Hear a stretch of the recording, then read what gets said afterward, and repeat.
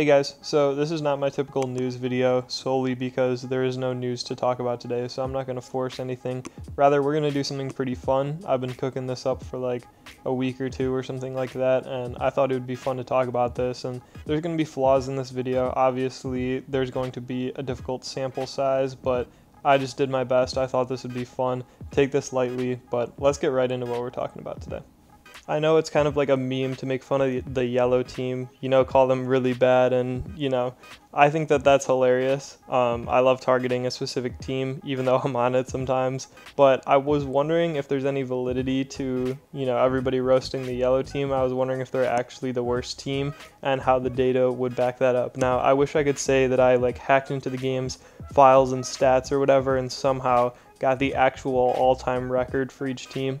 I wish I could do that, but I can't. I also couldn't really think of a way to compile tons and tons of games very quickly in a way that wouldn't take absolutely forever. So what I did was I went out and I just played, you know, or I've been playing over 100 games of Fall Guys. And so what I did was I recorded the result of every single team game and which team lost. And I say every single team game, I don't mean that because I did not record results like Jinxed, I did not record team tail tag because there's four teams.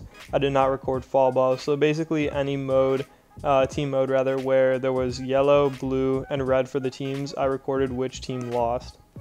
Now remember that 100 is like a decent sample size, but this is not the absolute truth, right? Like this could totally just be a bunch of outliers. I think that I would consider myself to be a somewhat average player, maybe a little bit above average. So I don't think the teams that I was on had a huge impact on what happened in the games, maybe just a little bit. So again, this is flawed. Don't take this 100%, but I thought that the results were pretty interesting.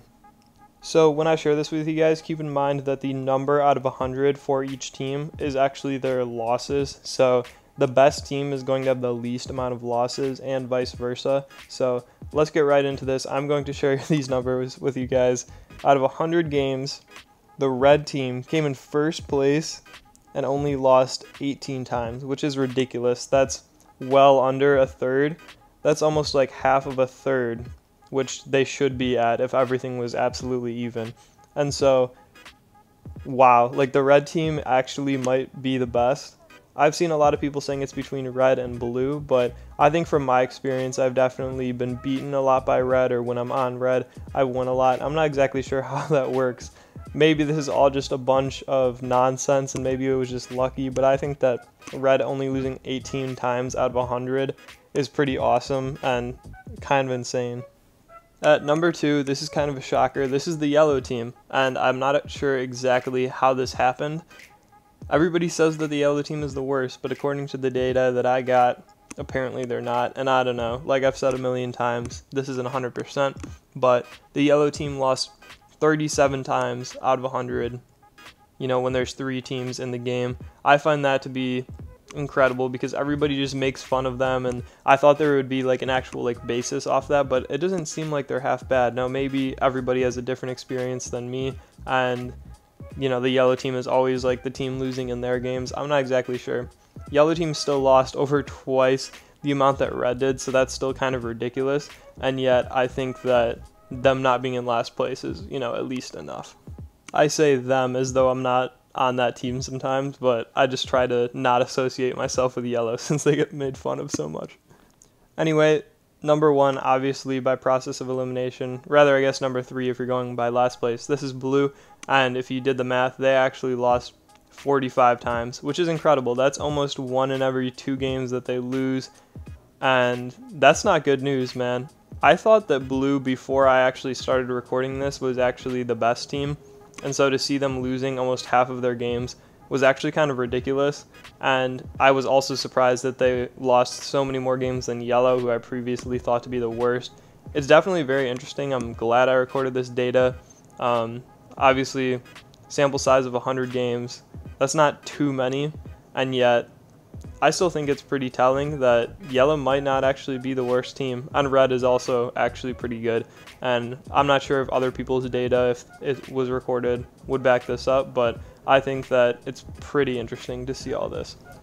Anyway, I'm making this on my lunch break, so that's pretty much it. I don't have that much more for you guys today.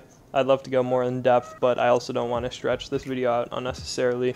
I do want to give a shout out to this channel. Its name is Fall Guys. It's actually where I got this gameplay, and I'm hoping to make a video later today addressing what I do with my gameplay, why I use gameplay that's not mine, etc. And hopefully that will kind of clear the air with that. I know it's not like a huge deal or anything, but I just kind of want to stay on the same page with you guys. So I'll probably make a video later today on that. But I do want to give this shout out to this Fall Guys channel that's posted like these little clips that I keep using you know, if you consistently watch my videos, you'll notice that it's the same games every time. So if I post a gate crash clip in one video, the next video, if I also post a gate crash clip, it'll be the exact same run.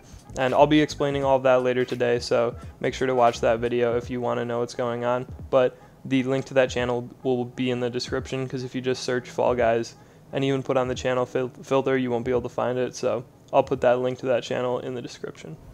Other than that, fellas, I don't have much else. I would just take the time to say, subscribe to the channel if you want to, if you're interested. Unsubscribe at any time if you're not satisfied with the content or you just get bored of it.